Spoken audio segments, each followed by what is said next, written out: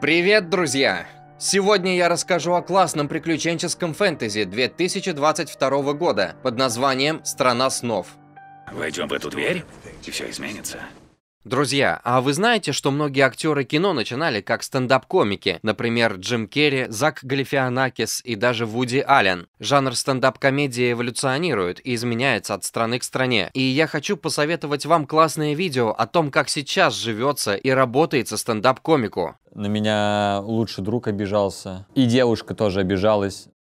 Начал намного меньше смеяться в жизни над шутками. Я вообще не верю в таланты, в стендапе уж тем более. Сколько можно заработать, рассказывая шутки в барах? Бывает ли, что за неудачную шутку бьют? Много ли приходится работать комику? Эти кадры из видео канала «Раскадровка» про стендап-комика. Очень классное видео, советую. Вообще, команда «Раскадровки» каждую неделю выкладывает видео об изнанке какой-то профессии. Есть видео и про обычные профессии, например, таксист, курьер, ветеринар, а есть и про более экзотические. Клоун, ресторанный критик, кинолог. Контент делают очень качественный. Друзья, посмотрите и подпишитесь. Уверен, вам понравится.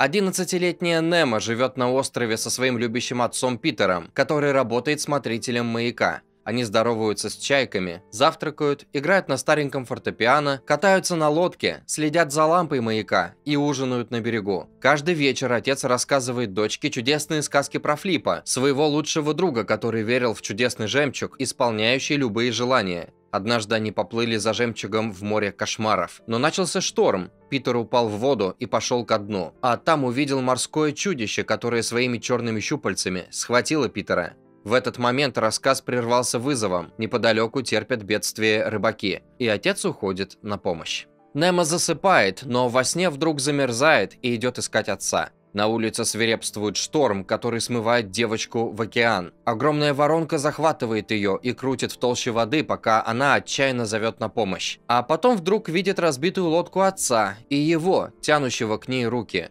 Девочка в ужасе просыпается и узнает, что этой ночью он погиб в море.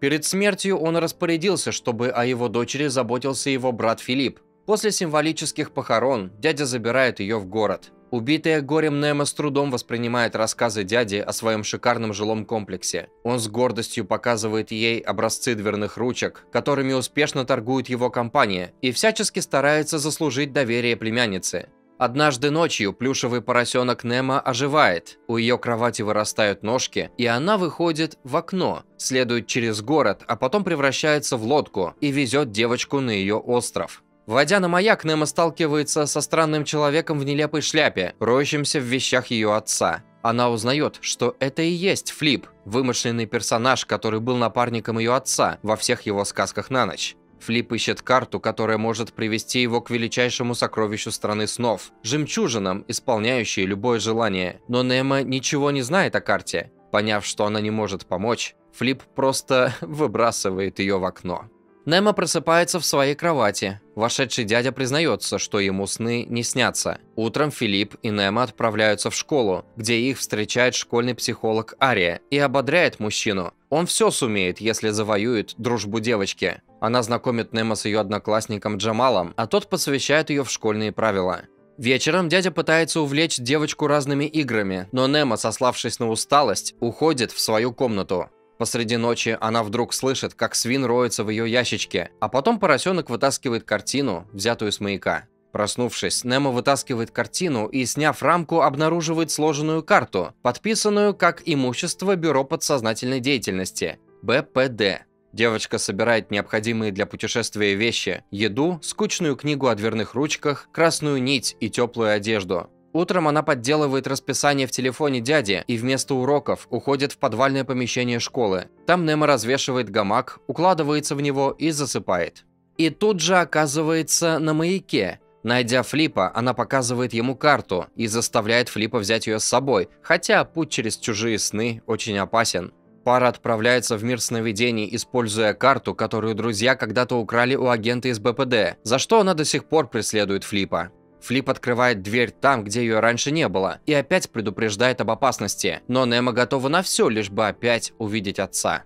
За дверью их встречает шикарный зал. Флип тоже меняет костюм и предлагает заключить договор о том, чтобы не мешать друг другу делать то, что каждый из них желает. Между разговорами они входят в танцевальный зал, где веселятся цветные тени.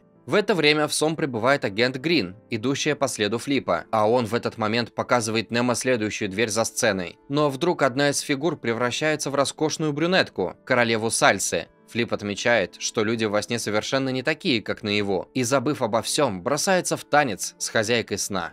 Немо впадает в отчаяние, и мир вокруг теряет цвета.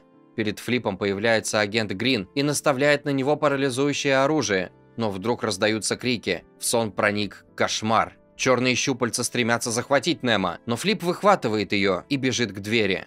С большим трудом им удается вырваться в другой сон.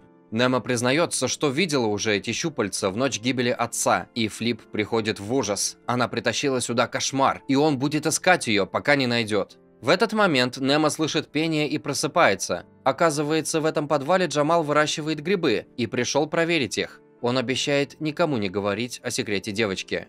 Позже дядя забирает Немо из школы. Он попросил пригнать их с отцом лодку, и они могут покататься, но Немо просит продать ее. За ужином Филипп рассказывает о том, что ее отец был другим, но после смерти ее мамы перебрался на остров.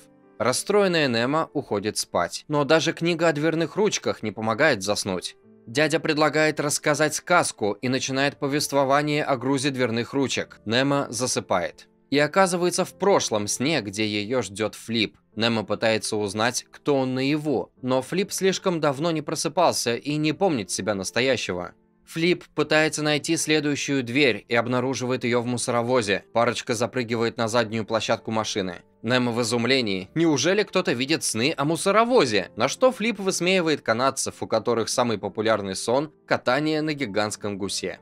Внезапно появляется автомобиль с агентом Грин за рулем и устремляется в погоню за мусоровозом. Флип и Немо балансируют на кузове, уворачиваясь от внезапно вырастающих стен. Наконец им удается забраться в кабину, где они обнаруживают на месте водителя мальчика-японца с прической Элвиса.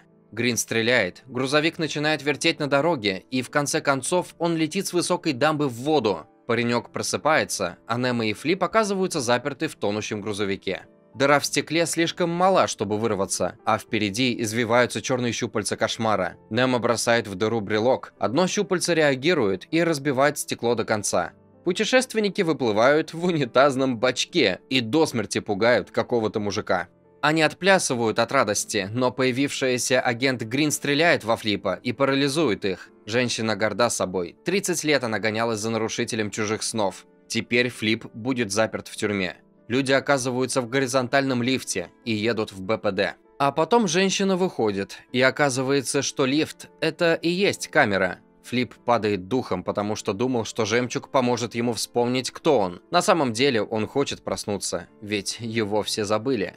Вернувшаяся Грин выводит Немо из камеры и проводит по бюро. Она поднимает документы и объясняет девочке, что для нее выделен сон о маяке. Это ее убежище. Кошмары туда не пролезут. А жемчуг – всего лишь миф. Немо просыпается в слезах, она никогда не увидит папу.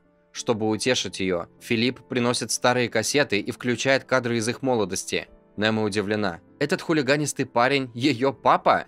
Филипп очень любил брата, а тот рассказывал ему сказки о стране снов. И тут Немо осеняет. Он и есть Флип. Филипп продолжает. Питер встретил ее маму, и они уехали в путешествие, а он замкнулся в себе и с тех пор не помнит сны.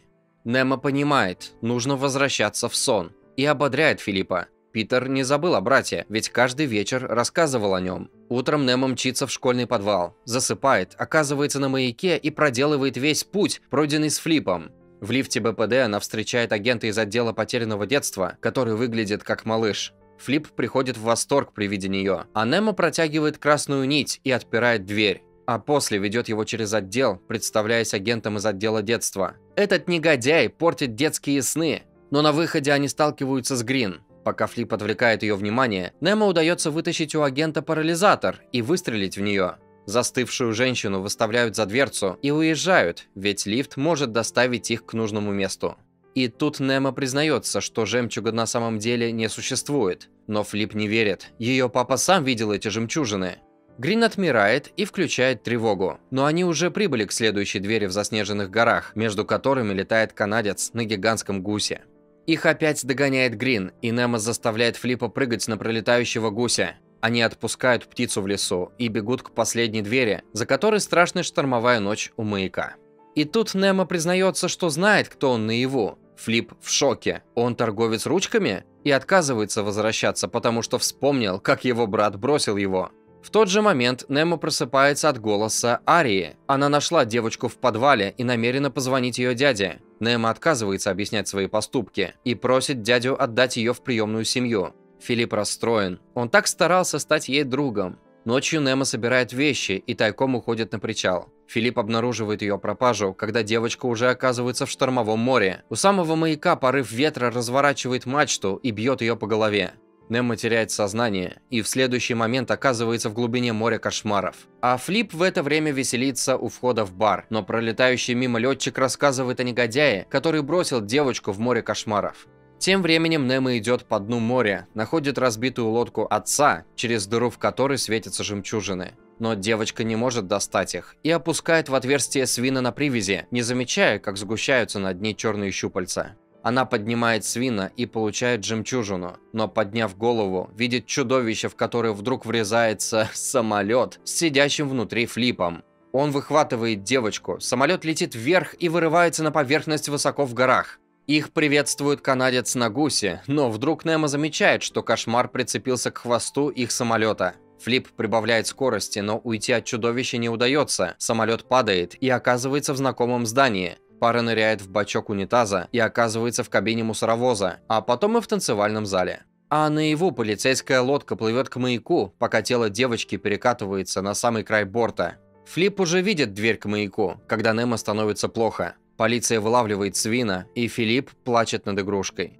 Во сне Флип подхватывает Немо и несет к двери, но она роняет жемчужину. Флип возвращается за ней и попадает в лапы кошмара. Он бросает драгоценность Немо, и девочка загадывает желание, чтобы Флип проснулся и вспомнил себя. В тот же момент Флип просыпается. Филипп тоже как будто приходит в себя и бросается в воду. Тело Немо соскальзывает в глубину, но во сне кошмар пропадает, и перед девочкой открывается дверь на маяк. Филипп находит ее тело и поднимает на поверхность. У Немо во сне развивается жемчужина в ладони. И тут она видит Грин. Женщина хвалит ее и просит сжать свина. Девочка обнимает игрушку, и поросенок выплевывает ей на руку еще одну жемчужину. Немо загадывает желание, и маяк преображается. Немо видит отца и бежит к нему. Девочка взахлеб рассказывает о своих приключениях. Они опять играют на фортепиано, шутят и смеются. А наяву Филипп выносит тело девочки на берег и просит о помощи. Ее реанимируют, но безуспешно. Отец во сне напоминает, у нее впереди вся жизнь, и Немо понимает, нужно вернуться. Они прощаются. Девочка приходит в себя к огромной радости Филиппа. Проходит время, Немо выходит из школы и видит, как ее преобразившийся дядя флиртует с Арией, и женщине это нравится. Пара отправляется кататься на лодке, и Немо радуется, глядя на сумасбродство дяди, который и есть тот самый Флип из ее снов. А перед сном он расспрашивает ее о планах на ночь и обещает успеть на прогулку. Несмотря на сказочность сюжета и фантазийную картинку, фильм довольно серьезно подходит к проблеме принятия смерти, а еще интересно показывает, как человеческие эмоции прорастают в сны и расшифровываются, когда люди сталкиваются со своими чувствами.